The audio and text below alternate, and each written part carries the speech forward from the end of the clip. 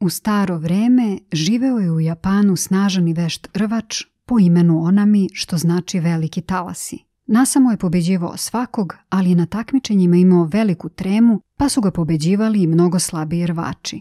Onami najzad ode u hram i zatraži pomoć od duhovnog učitelja. Zoveš se veliki talasi, podsjeti ga učitelj. Ostani noćas u hramu i zamišljaj sebe upravo tako, da više nisi zbunjeni rvač, već ogroman talas koji nosi sve pred sobom.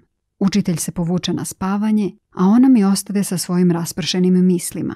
Isprva je išlo teško, ali s vremenom poče sve više da osjeća talase. Do zore su, na mestu gde beše hram, vladale samo plime i oseke beskrajnog mora.